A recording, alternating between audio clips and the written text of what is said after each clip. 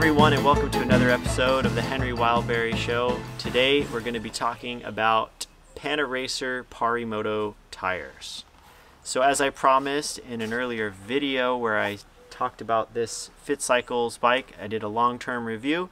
I mentioned that I would be coming back at some point and discussing these tires. Well, I think today is, the, is a perfect day to do that. I am officially retiring these tires.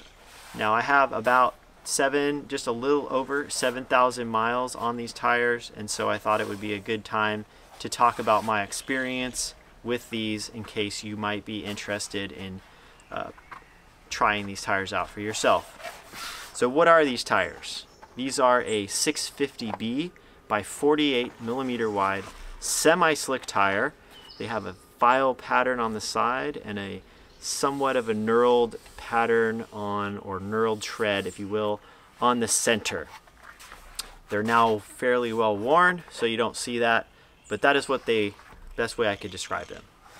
The tire itself, the manufacturer claims that these weigh 500 grams each, and these are for tubes only. They do not work tubeless, and that is one of the reasons why these tires may actually be for you.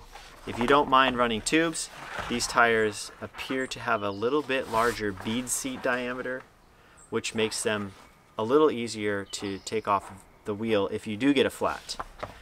These tires perform pretty well for me. As I said, I got about 7,000 miles. The front tire I still have on here. I could keep running it a little bit longer if I wanted to, but I'm going to be switching over to the Gravel Kings that I set up a few months ago. I'll be putting those tires on these wheels and I'm putting them on these wheels because this has the generator hub. So I did get a few I did get a few flats later on as the tire begin began to get a little more worn out and during the rainier months. It seems like when the tire's wet I would pick up a little bit more glass from the road. I never got a flat tire riding off-road or on gravel. I didn't even get a puncture from a thorn that I remember riding off-road. I did get a thorn one time riding through some freshly cut blackberry bushes that were laying on the road.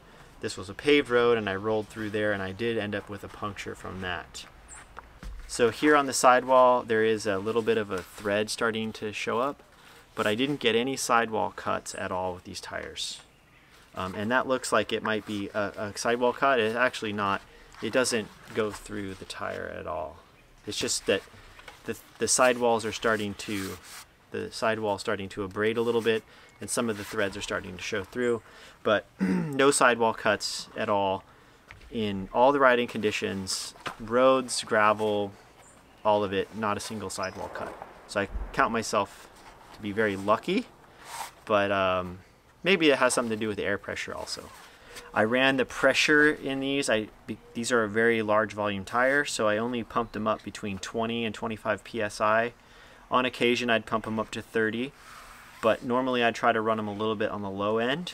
So I will be running this Gravel King now on my bike. This will be my, my everyday tire, and uh, we'll see how many miles I get out of it. Hopefully I get as many miles as I did out of these Pari-Motos. I think that basically summarizes my, my review. I, I think these are good tires.